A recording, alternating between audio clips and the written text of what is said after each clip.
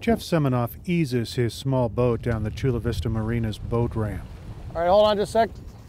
Get us going here. The National Marine Fisheries Service craft will help Seminoff's team find out how the bay's 60 to 100 endangered green turtles are doing. He's concerned about some troubling trends.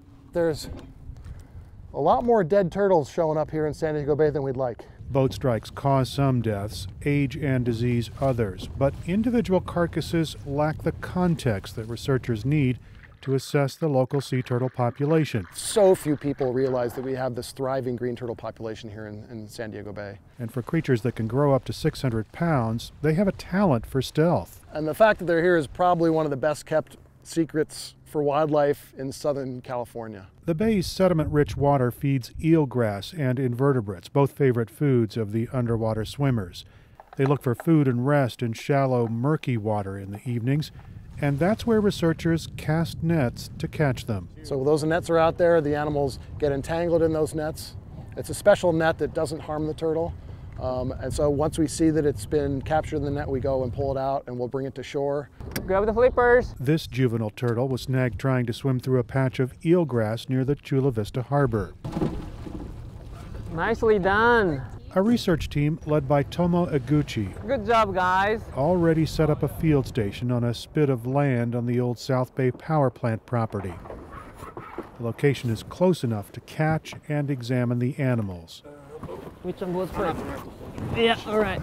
Give me that. Eguchi works at the Southwest Marine Fisheries Service. He's been studying the bay's sea turtles since 2004. He says the now dismantled power plant was a draw for the animals. Their growth rate was much faster than what you'd expect at this latitude.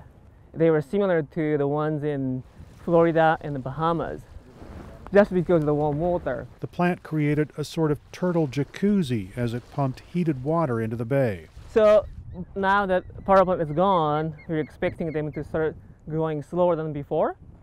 And that's why we're measuring all these turtles every time we catch them. Eguchi says turtles are harder to catch these Yeah. days because scientists just can't camp out near the power plant. Got data sheet going? This turtle isn't new to the team.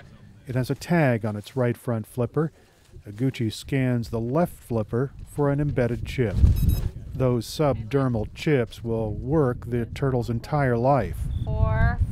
446A. Robin LeRoux is the deputy director of the local marine mammal and turtle division. So the first time we caught this turtle was in August of 2013. She checks the number against her records and finds this turtle was last caught in 2014. And then we haven't seen it for the last three years. A rope harness allows the team to hoist the turtle off the ground. Eguchi gets enough clearance for a weigh in. So the weight is really, yeah, 65 kilos. The turtle is lowered back down, and a washcloth is draped over the animal's face.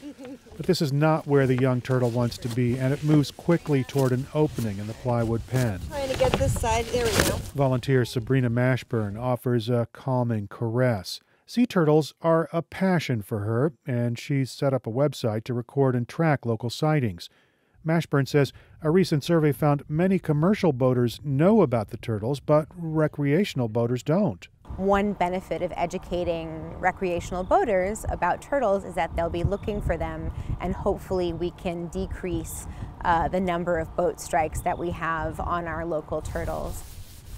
And I'm now using um, alcohol to rub off any um, algae or anything else on the carapace so that the glue can stick well. The last bit of the night's business is attaching a satellite transmitter.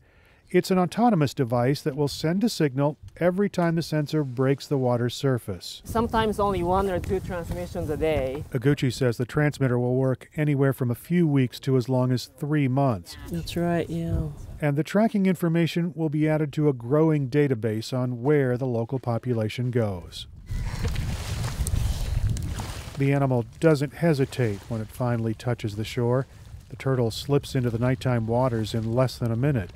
But the creature leaves behind important information. That data will help researchers better understand the elusive turtles and the habitat they live in. Erik Anderson, KPBS News.